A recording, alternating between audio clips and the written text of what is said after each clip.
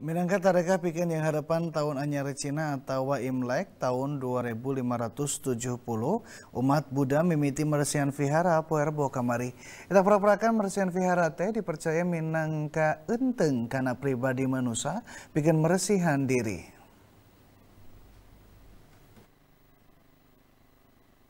Perbo kamari umat Buddha di Sakuliah Indonesia salah sajina di kota Bandung mimiti meresihan vihara enggoning mapag tahun anyar Cina atau Imlek 2570.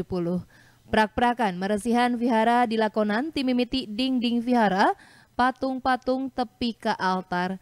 Lian tikitu Bang Pirang Wanda anu altar oge diturunkan tur tadi beresihan. Prak-prakan ngabersihan vihara teh diempel make cai jeng sabun atau dielap make lawon. Ari patung-patung mah dibersihan make koas anu geus dicelupkeun kana cai bersih. Salah seorang relawan di Vihara Dharma Ramsi, asikin nembraken, Perbo Kiwari 27 altar di eta vihara mimiti dibersihan. Prak-prakanana dilakonan lain ukurku relawan anu asalna ti umat anu biasana aribadah di eta vihara, tapi oge di tempat sejen. Upama relawan anu ngadeg-deg jumlah narea, prak-prakan meresihan bisa reng sejero tilu tepi ka opat poe. Prak-prakan meresihanana dilakonan perbo kiwari lantaran keyakinanana dewa-dewa anu bersemayam di jero patung-patung dina altar sasembahan gesmiang ke langit poe salasa peting. Eta dewa teh bakal mulang deui ka vihara nalika maleman Imlek tahun ya seperti biasa aja dan tidak ada perubahan sertifikat sekali.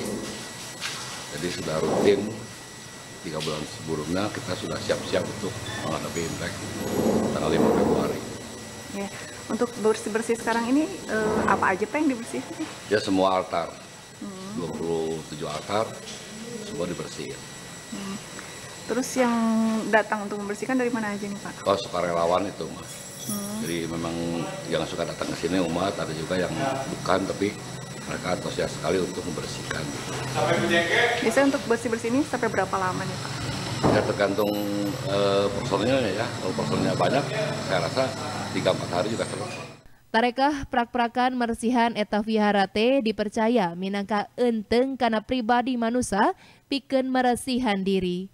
Budi Hartati, Bandung TV.